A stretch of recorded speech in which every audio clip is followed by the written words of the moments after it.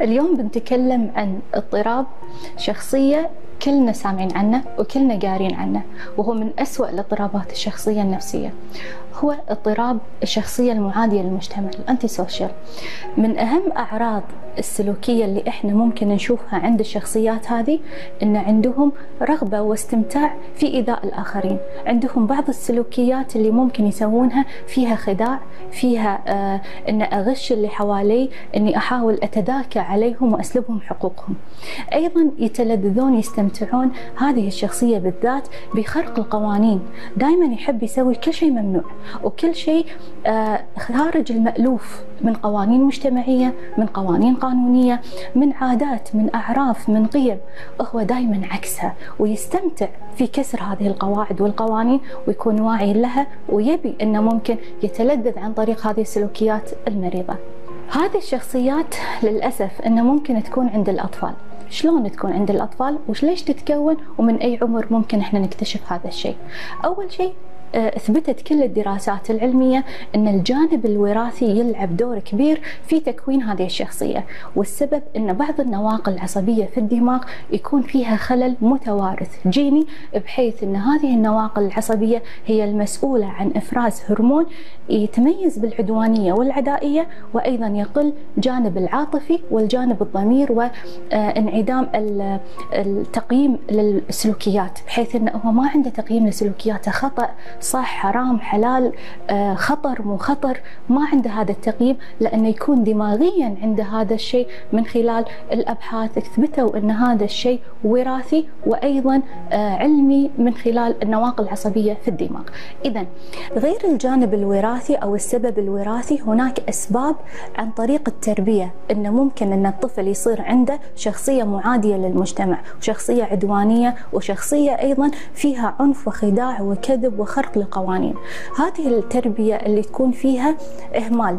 إهمال لأبعد درجة إهمال حتى في احتياجاته الأساسية مو بس إهمال عاطفي أيضا إهمال في رعايته في أكله في حاجاته الأساسية في إهماله في ملابسه في نظافته في دراسته في تعليمه في تربيته في غرس المفاهيم. هذه كلها مو موجودة. إذا الإهمال عاطفيا وأيضا إهمال في كل جوانب الحياة بحيث أن الطفل يطلع بهذه النتيجة التربوية ما عنده أي قيم أو ما عنده أي سلوكيات ممكن إن الاب أو الأم ارشدوه إن هذا صح أو غلط.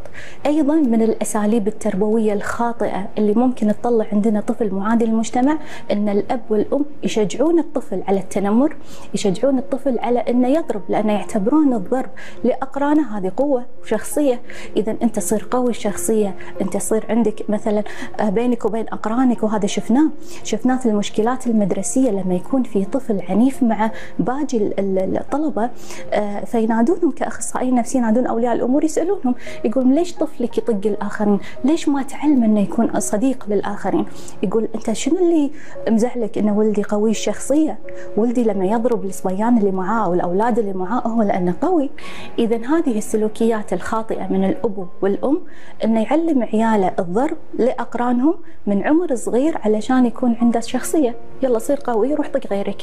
اذا في عمر معين في عمر المراهقة لما يبدأ تتكون عنده شخصية مع لما يصير مثلا شاب أو لما يبي يثبت رجولته هني يبدأ عنده الخرق القوانين بشكل أوضح. أول كان هو بالمدرسة فيضرب أقرانه ممكن أنه ينحاش من حصة ممكن يسوي أشياء يخرق قوانين بطريقة صغيرة. ولكن متى تكون المشكلة الكبيرة؟ لما يكون مراهق أو لما يكون في عمر الشباب. إذا تظهر السلوكيات العنيفة والعدوانية في فترة المراهقة وفترة الشباب. ليش؟ لأن أيضا في هرمونات في وقت البلوغ.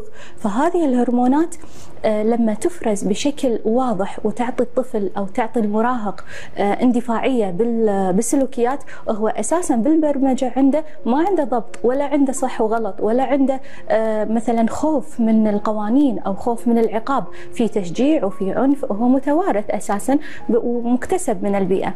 إذا فيكون واضح عنده في فترة الشباب في كسر القوانين عشان كذي نشوفهم. إحنا يسوون بعض الجرائم ونشوفهم بالشوارع شلون طريقة قيادتهم. وأيضا في انتشار مثلا السلوكيات الخطأ من مخدرات وغيره. هذه كلها سلوكيات معادية للمجتمع وأيضا فيها عنف وعدوان. نصيحتي لأولياء الأمور إذا كان عندك طفل بين عليه بعض السلوكيات العنيفة والعدوانية بحيث أنه تشوفه ما يعني يندم إذا هو سوى شيء غلط. والله طق أخوه أو طق أخته أو طق واحد من معاه بالمدرسة ولازم لما يرجع يقول لا أن أنا من حقي أن أسوي هالشيء. أو يعني ما في جانب الضمير أو جانب الخوف.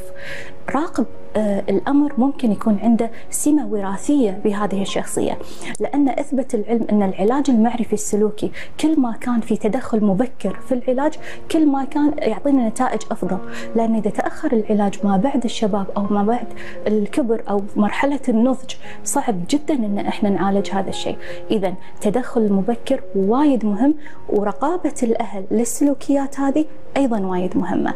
وكسلوك عند الأب والأم لا تعلم عيالك إن القوة الشخصية وإن أنا أخليك واثق من نفسك إنك تروح تتعدى على غيرك. بالعكس القوة الشخصية إنك أنت شلون تحل مشاكلك في الحياة وتكسب الآخرين بدون ما تتعدى على غيرك.